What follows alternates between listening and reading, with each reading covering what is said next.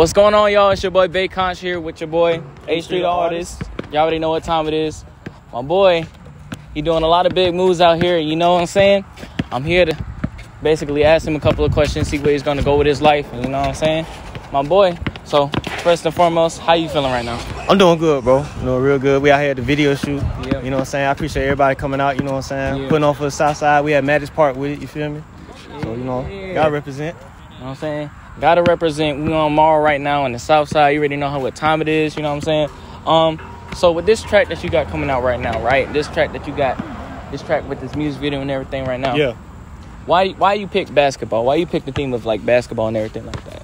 Cause it's really just how I came up and that's what we just grew up playing in my neighborhood, you know what I'm saying? We hoop all the time. We play basketball way more than football. You know what I'm saying? We had way more street in our neighborhood for us to play basketball than grass, you know what Yeah. I'm saying? And we ain't trying to get tackled on the goddamn street. Feel me? So that's Okay. just how it was. Okay. And just, you know what I'm saying? Um, it was just a vibe, man. Cause my pops, uh, South Cat for that, he produced it. It was a long session one night. We was just going through a bunch of beats, Mhm. and then I just freestyled on that. And I just felt like the energy from the horns and everything in it. It Right. just feel like like some winning stuff. You know what I'm Right, saying? right, right. So that's just what we went with. Okay, okay, cool, Yeah. cool, cool.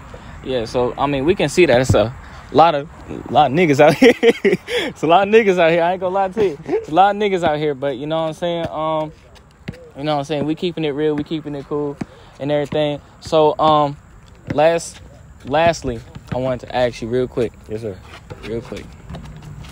You got any new stuff coming out? Yes, I got a lot of new stuff coming out. Like a lot, a lot, a lot of new stuff coming out. Like I got a lot of new stuff coming out. Um, I got two albums I'm working on now. I got a bunch of singles already prepared and ready. I just want to roll everything out in the right way for everybody to be able to enjoy it with visuals and all that type of stuff.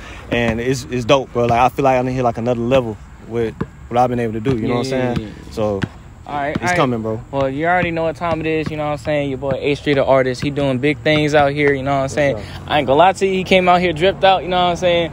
I came out here dripped out myself, but you, know what I'm saying? Me, boy, 'cause I ain't, I'm dripping more than you him. But you know, I got these $30 shoes, I ain't gonna lie to you. no, I'm playing, I'm playing. All right, y'all, it's been real, Bayconch out.